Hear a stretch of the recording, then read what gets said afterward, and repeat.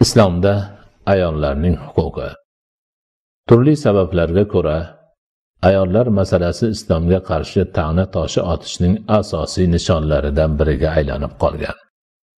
Hatto ba'zi musulmon ulamolar ayollar masalasi islom ummati ko'ksiga sanjilgan zaharli xanjar deb atashga majbur bo'ldilar. Bu masala bo'yicha ko'plab kitoblar maqolalar yozilgan. Xutbalar mav'izalar qilingan. Albatta bizning bu masalaga ortiqcha to'xtashga imkonimiz yo'q. Ikkinchidan islom o'z ta'limotlariga xilof qilish oqibatida kelib chiqqan noto'g'ri holatga javob berishga majbur ham emas. Eng muhimi islom hech kimning himoyasiga muhtoj ham emas. Faqat tushuna olmay turgan kishilarga tushunganlar yordam berishi qabilida ish tutish mumkin xolos. Shu ma'noda ayol kishi va teng huquqlik nomli maqolada bu masalaga mavzuni siyohiga binoan bir oz izoh berilgan edi. Endi esa yana mavzuni siyohiga binoan ba'zi bir masalalarni bayon qilib qo'yish foydadan xoli emas deb o'ylaymiz. Islomdan oldin ayol kishi nafaqat huquqlari poymol qilinishiga balki insonlik darajasidan mahrum qilinishiga mahkum qilingan edi. Misol uchun islom dastlab paydo bo'lgan yurt va zamonda qiz bola tug'ilgan oila motam tutar va keyinchalik or nomus va iqtisodiy qiyinchilikka sabab bo'lmasin deb qizni tiriklayin ko'mib yuborilar edi. Qur'oni karim bu odatlarni qattiq qoraladi va man qildi. Musulmon oilalarda qiz tug'ilsa o'g'il tug'ilgandan ko'ra ko'proq xursand bo'lish joriy qilindi. qizlarni yaxshilab tarbiya qilganlarga o'g'il bolalarni tarbiya qilganlarga nisbatan ko'p va'dalar qilindi ibn abbos roziyallohu anhudan rivoyat qilgan hadisda quyidagilar aytiladi من كان له ثلاث بنات أو أخوات فصبر على أوائهن ودرائهن وسرائهن أدخله الله الجنة بفضل رحمته إياهن فقال رجل أو سنتان يا رسول الله قال أو سنتان قال رجل أو واحدة يا رسول الله قال أو واحدة رسول الله صلى الله عليه وسلم kimning uchta qizi yoki singlisi bo'lsayu ularni xarxashalariga og'irliklariyu qiyinchiliklariga sabr qilsa alloh uni ularga ko'rsatgan rahmati tufayli jannatga kiritur dedilar. Bir kishi ikkita bo'lsachi ey allohning rasuli deb so'radi. Ikkita bo'lsa ham dedilar. Bir kishi bitta bo'lsachi ey allohning rasuli deb so'radi. Bitta bo'lsa ham dedilar. Qizlarning tarbiyasi ta'limi va madaniyati hamda yashab o'sish uchun zarur bo'lgan har bir narsa otaning zimmasidagi farzdir ota bu farzdan faqat qiz turmushga chiqqandan keyingina ozod bo'ladi. Chunki endi bu farz erning zimmasiga o'tgan bo'ladi. Otasi yoki eri yo'q ayolning nafaqasi aka yoki uning o'rnini bosuvchi boshqa shaxslarga vojib bo'ladi. Umuman islomda ayol kishi nafaqasiz qolishi mumkin emas. Qizning nafaqasi otaga xotinniki erga singilniki aka ukaga onaniki o'g'ilga vojib bo'ladi. Islom ayol kishiga ta'lim olish va madaniy saviyasini oshirish haqqini berdi va erkaklarni bu ishga mas'ul qildi. Ilm talabi er ayolga barobar farzligi qizlari va singillariga ta'lim va odob bergan kishi jannatga haqli bo'lishini yaxshi bilamiz. Ammo hammamiz ham ushbu ish cho'ri ayollarga ham tegishli ekanini bilmasak kerak. Imom buxoriy rivoyat qilgan hadisda پیغمبر صلی الله علیه و سلم و رجل كانت عنده امة فأدبهن فأحسن فأحسن تأديبها وعلمها فأحسن تعليمها ثم أعتقها فتزوجها فله أجران. دیگرلر یعنی قای بر کشنین حضور ده جاریه بوسه أو انگه یخشلب تعلیم برسه یخشلب آداب برسه va so'ngra ozod qilib unga o'zi uylansa unga ikki hissa ajr bo'lur deganlar. Demak cho'ri qizga yaxshilab ilm va madaniyat o'rgatishning ajri uni cho'rilikdan ozod qilish ajriga teng ekan. Avvalgi avlod musulmonlar musulmon ayollari erlaridan boshqa ustozlaridan payg'ambar sollallohu alayhi vasallamning ommaviy dars va xutbalaridan olayotgan ilm ma'rifatga qanoat hosil qilmay payg'ambar alayhissalomdan ayollar uchun alohida ilm ma'rifat majlislari qilishni talab qilganlar va ularning bu talablari payg'ambar sollallohu alayhi vasallam tomonlaridan darhol qondirilgan. Ayol kishi faqat ta'lim olish dars xutba va va'z eshitishgagina haqli emas balki ta'lim berish dars aytish va boshqa ilmiy ishlar bilan mashg'ul bo'lish haqqiga ham egadir. Muslima ayollar ilm fan va madaniyat sohasida ulkan yutuqlarga erishganliklari hammaga ma'lum. Gapimiz quruq bo'lmasligi uchun misol ham keltiraylik. Shifo binti abdulloh adaviya roziyallohu anhodan qilingan rivoyatda u kishi quyidagilarni aytadilar. دخل علي رسول الله صلى الله عليه وسلم وانا عند حفصه فقال لي الا تعلمين هذه رقيه النمله كما علمتيها الكتابه رواه ابو داود hafsani oldida o'tirgan edim payg'ambar sollallohu alayhi vasallam kirib qolib menga sen bunga xuddi yozishni o'rgatganingdek namila damini ham o'rgatmaysanmi dedilar Abu dovud rivoyat qilgan. Olima ayollar vakilasi oysha onamiz hadis rivoyat qilish bo'yicha ikkinchi o'rinda turadilar. Urkan sahobiylar o'zlari bilmagan narsalarini hal qila olmay qolgan masalalarini oysha onamizdan so'rar edilar. O'sha vaqtni sharoitida bu narsalar dunyo miqyosida katta o'zgarishlar edi. Muslima ayolning jamiyat siyosat va shariat maydonlarida ham kerakligicha o'z ulushi bo'lgan. Muslima ayolning to'g'ri fikrini haq ovozini zabardast xalifa ham payg'ambar sollallohu alayhi vasallam ham alloh taoloning o'zi ham eshitgan qabul qilgan. Dunyoga umari odil nomi bilan mashhur bo'lgan zabardast xalifa umar ibn hattob o'z davrlarida mahr miqdori ortib ketganini mulohaza qildilar. Bu ishni muolaja qilish uchun ko'pchilik ichida xutba qilib mahrni cheklash maqsadida ogoh bo'linglar. Ayollarni mahrida haddan oshmanglar. Agar u bu dunyoda ikrom allohning huzurida taqvo bo'ladigan bo'lsa unga sizning eng haqligingiz payg'ambar sollallohu alayhi vasallamdir. Rasululloh sollallohu alayhi vasallam o'z ayollaridan birortasiga o'n ikki o'qiyadan ortiq mahr bermaganlar.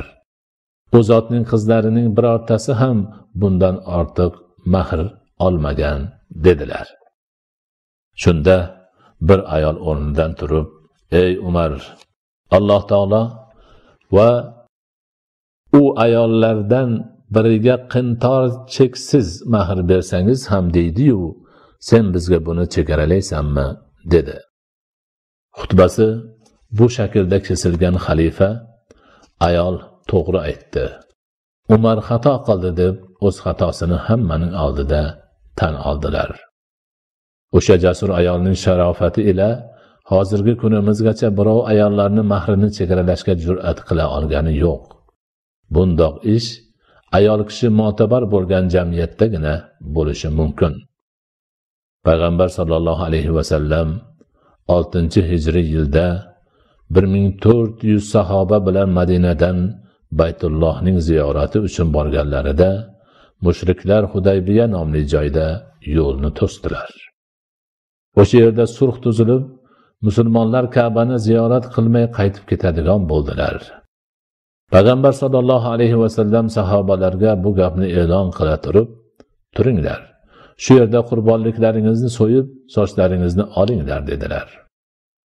Sahobalar norozi bo'lib birortalari ham qimirlamadilar. Payg'ambar sollallohu alayhi vasallam amrni uch marta qayta qayta takrorlasalar ham biror kishi qimir etib qo'ymadi.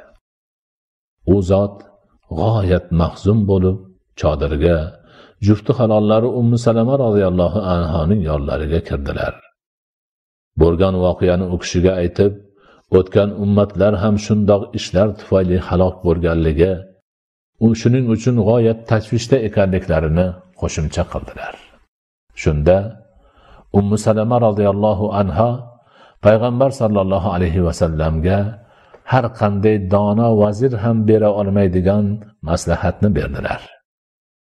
Ey allohning payg'ambari aytgan amringiz bo'lishini xohlaysizmi? Tashqariga chiqing. Ulardan birortasiga bir kalima ham so'z aytmay qurbonlik tuyalaringizni so'ying. So'ng sartaroshingizni chaqiring sochingizni olsin dedilar. Payg'ambar sollallohu alayhi vasallam chiqib xuddi ummu salama roziyallohu anhu aytganlaridek qildilar. Buni ko'rgan sahoba ikromlar ham shoshib qurbonliklarini so'yib sochlarini oldira boshladilar. Shunday qilib bir muslima ayolning tadbiri ila islom ummati halokatdan saqlanib qoldi. Allohning payg'ambariga to'g'ri maslahat bera oladigan ayol faqatgina islom ummatidan chiqishi mumkin. Endi muslima ayolning nidosini alloh eshitib fikrini tasdiqlaganini o'rganib chiqaylik. Islomdan oldin arablarda zihor degan narsa bor edi. Bunda er xotiniga sen manga onamning belidek haromsan desa abadiy yarashib bo'lmaydigan taloq tushar edi. Xotin er uchun uning onasidek hisoblanib qolar edi. Kunlardan birida havla binti salaba nomli ayolning eri avs ibn somit zihor qildi. So'ng avs achchig'idan tushgat nadomat qildi va xotiniga endi sen menga harom bo'lgan bo'lsang kerak dedi. Havla bo'lsa allohga qasamki bu taloq emas dedida de, qo'shni ayolning kiyimini qarzga olib bu masala hukmini oydinlashtirish uchun rasululloh sollallohu alayhi vasallamning huzurlariga yo'l oldi. U zotning oldilariga kelib ey allohning rasuli erim avs ibn somid yosh boy va aqli xushlik paytimda menga uylandi. Molimni yeb bitirdi. Yoshligimni barbod qildi. Aqlimni suslatdi va yoshim ulug' bo'lganda bir damda mendan zihor qildi. Endi o'zi bu zihordan afsus nadomatda bizlarning qayta qo'shilishimizga yo'l bormi dedi. Unga harom bo'libsan dedilar payg'ambar alayhissalom. Sizga qur'onni tushirgan zot bilan qasamki u taloqni zikr qilgani yo'q. U meni bolamning otasi eng sevimli kishimku axir dedi havla unga harom bo'libsan dedilar payg'ambar alayhissalom. Mushkulimni va yolg'izligimni allohni o'ziga shikoyat qilaman. Men erim bilan uzoq hayot kechirdim undan farzandlar ko'rdim dedi havla unga harom bo'libsan dedilar rasululloh sollallohu alayhi vasallam. Va sening to'g'ringda biror amr kelgani yo'q deb qo'shib qo'ydilar. Havla binti salaba roziyallohu anho bo'lsa tinmay rasululloh sollallohu alayhi vasallam bilan tortishaverdi. Qachon u zot alayhissalom sen unga harom bo'libsan desalar havla mushkulimni yolg'izligimni va holimni og'irligini allohning o'ziga shikoyat qilaman der edi. Ushbu tortishuv chog'ida havla binti salaba axir mening yosh bolalarim bor. Men bilan bo'lsalar och qoladilar. U bilan bo'lsalar zoyi bo'ladilar der va boshini osmonga ko'tarib ey bor xudoyo o'zingga yolboraman. Ey bor xudoyo payg'ambaring tiliga mening mushkulimni oson qiluvchi narsani tushir der edi. Birdan payg'ambar alayhissalom jim bo'lib qoldilar. Vahiy tushganda bo'ladigan holat yuzaga keldi. bir muddatdan keyin o'sha u kishi muborak boshlarini ko'tardilarda alloh taolo sen va sening ering haqida oyat tushirdi dedilar va quyidagicha boshlanadigan oyatni tilovat qildilar قد سمع الله قول التي تجادلك في زوجها وتشتكي الى الله والله يسمع تحاوركما إن الله سميع بصير mujodala surasidagi bu oyatning ma'nosi quyidagicha.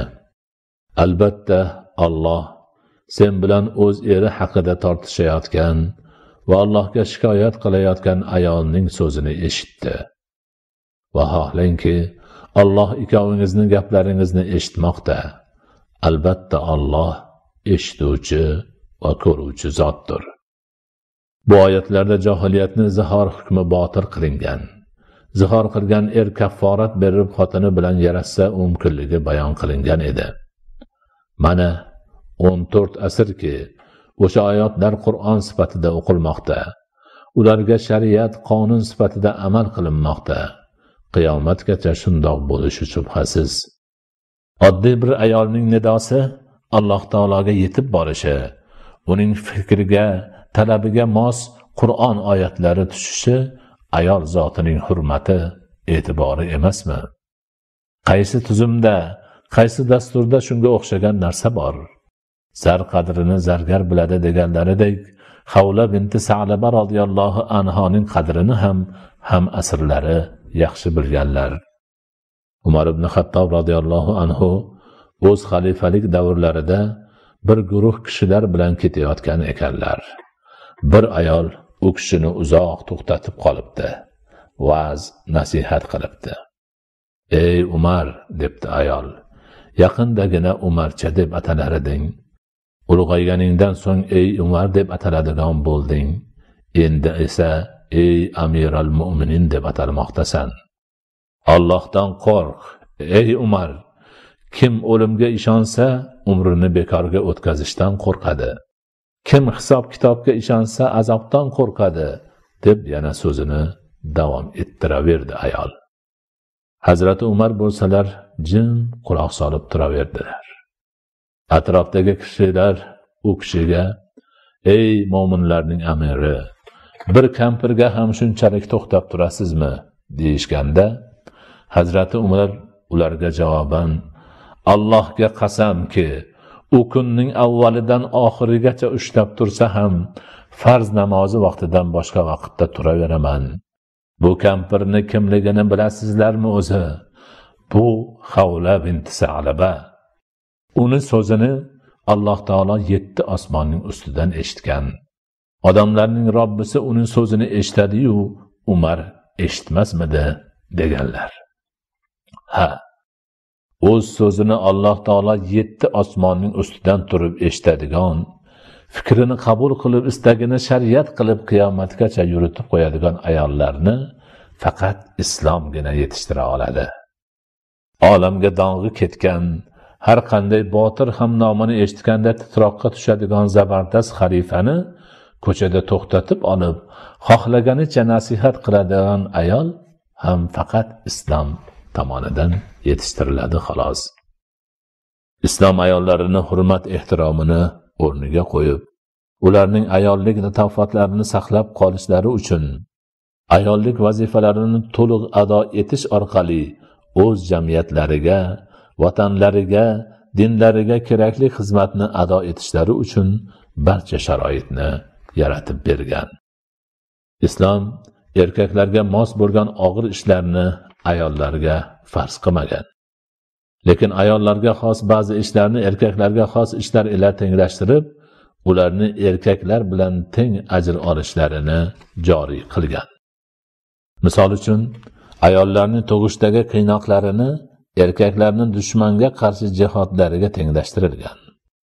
Bu ma'nolar o'z haq huquqini talab qilib chiqqan musulmon ayollar sharofati ila payg'ambar sollallohu alayhi vasallam tomonlaridan bayon qilingan. Imom buxoriy va imom muslimlar rivoyat qilgan hadisda shunday deyiladi. Asma binti zayd al ansoriya roziyallohu anho payg'ambar sollallohu alayhi vasallamning huzurlariga kelib ey allohning rasuli mening ortimdagi muslima ayollar jamoasining elchisiman. Ular mening so'zimni aytadilar va mening fikrimga o'xshash fikrdalar. Albatta alloh sizni erkak va ayollarga yuborgan. Biz sizga iymon keltirdik va ergashdik. Biz ayollar jamoasi tutilib o'ranib uyda o'tirib qolamiz. Erkaklarni shahvat mavzesi bolalaringizning ko'taruvchilarimiz. Erkaklar jamoat va janozaga hozir bo'lish ila afzal qilindilar. Qachon ularga jihodga chiqsalar ularning mollarini muhofaza qilamiz bolalarini tarbiya qilamiz ularga ajrda sherik bo'lamizmi? dedi.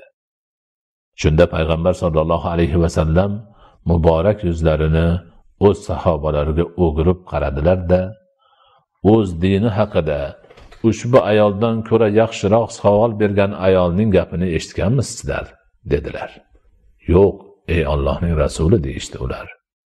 Ey asma qaytib borib ortingdagi ayollarga bildirki albatta sizning biringizni yaxshi er tutishi uning roziligini istashi muvofiq bo'lganiga ergashishi sen zikr qilgan narsalarga teng keladi dedilar. Asma o'ziga rasululloh sollallohu alayhi vasallam aytgan narsalarni sevinganidan la ilaha illallohni aytib qaytib ketdi.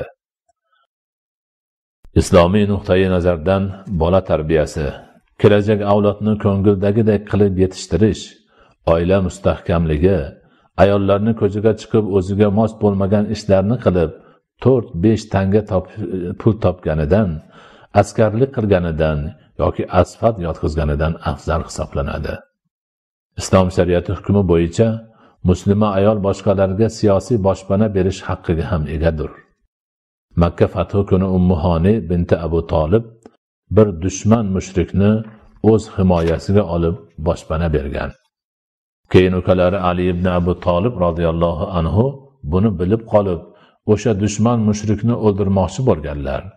Shunda ummuhoni rasululloh sollallohu alayhi vasallamni huzurlariga borib bo'lgan gapni aytganida u zot alayhissalotu vassalom qod ajarna man ajarti va ammanna man ammanti deganlar. Imom abu dovud rivoyat qilgan bu hadisda payg'ambar alayhissalotu vassalom ey ummuhoni kimni himoyangga olgan bo'lsang biz ham uni o'z himoyamizga oldik.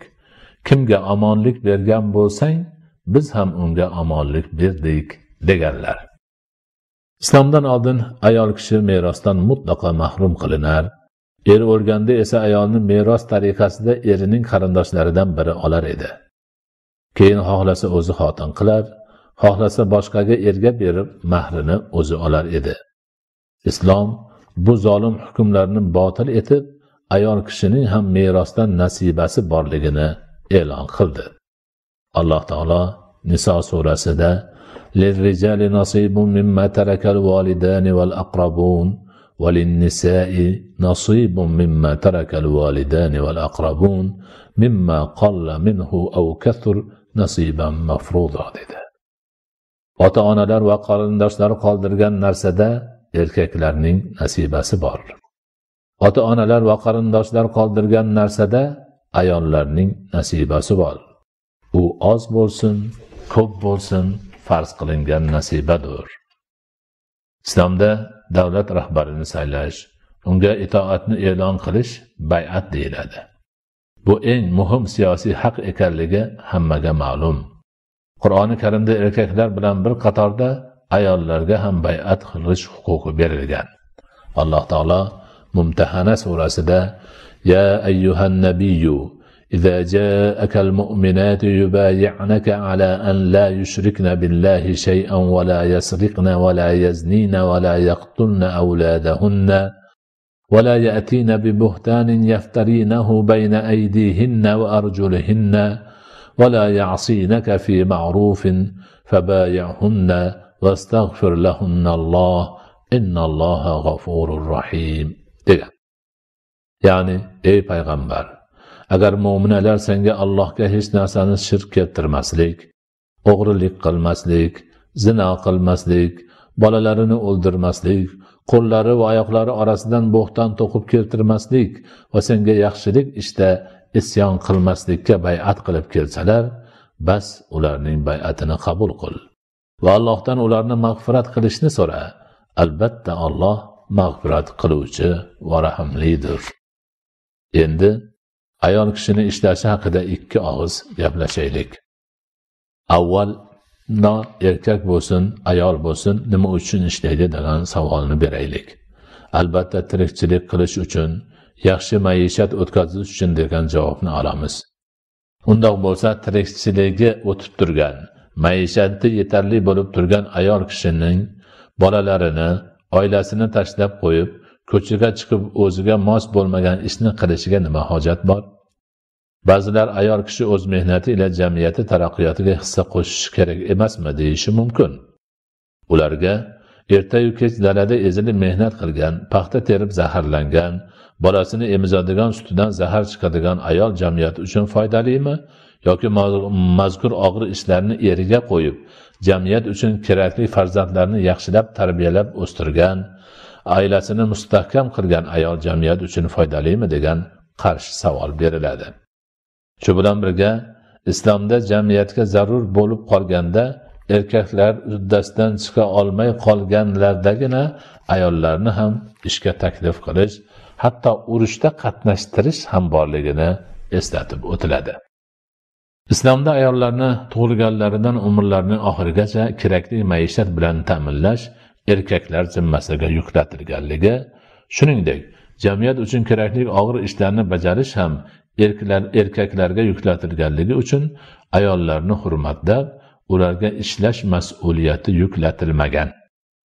Bundan keyin ayollarni zaruratsiz ishlatganlarni yana bir sababi qoladi. U ham bo'lsa ish bahonasi bilan oila doirasida qila olmay yurgan harom harish ishlarini qilish yoki oddiy ko'ngil hushi uchun bo'ladi. Islomda harom harish ishlar mutlaqo harom qilinganligi hammaga ma'lum. Ko'ngil hushini esa ishlab turib qilgandan ishlamay qilganlari ayollarni o'zi uchun yaxshi bo'lsa kerak. Yana bir bor ta'kidlash lozimki islomda ayol kishining ishlashi man qilinmagan. Balki bu masala ayol kishining uning oilasining jamiyatning manfaatlaridan kelib chiqib tartibga solingan. Yosh bolalarning tarbiya va ta'lim ishlari ayollarning ishi hisoblanadi. Xotin qizlarga tibbiy xizmat ko'rsatish ayollarning ishi hisoblanadi. Mutaqaddim hanafiy faqihlardan kamoliddin ibn humam agar ayolning xotinlarga xos farzi kifoya ishda hunari bo'lsa uning eri ishga chiqishidan man qila olmaydi deganlar. Shuningdek ayol kishi erining ishida yordamchi bo'lishi oilasi muhtoj bo'lganda halol yo'l bilan halol mehnat qilishi joiz. Ya'ni o'z o'zi xohlasa ishlaydi bo'lmasa birov uni majbur qila olmaydi. Ba'zi ulamolarimiz nodir qobiliyatga ega bo'lib jamiyatga foydasi ko'p bo'lgan ayollar ham ishlashlari tavsiya qilinadi deganlar. Qolgan paytlarda ayol kishini ishlashga majbur qilish yo'q. Uni turli yo'llar bilan tashviqot qilib arzon ish kuchi sifatida ezishga ham hech kimni haqqi yo'q. Ayol qizlarni tong saharda dalaga haydab ketib xohlaganicha ishlatib tun qorong'isida qaytarib olib kelishga ham hech kimni haqqi yo'q. Ayollarni o'zlariga mos bo'lmagan ishlarda ishlatib ularning ayollik latofati va onalik qobiliyatiga futur yetkazishga ham hech kimning haqqi yo'q.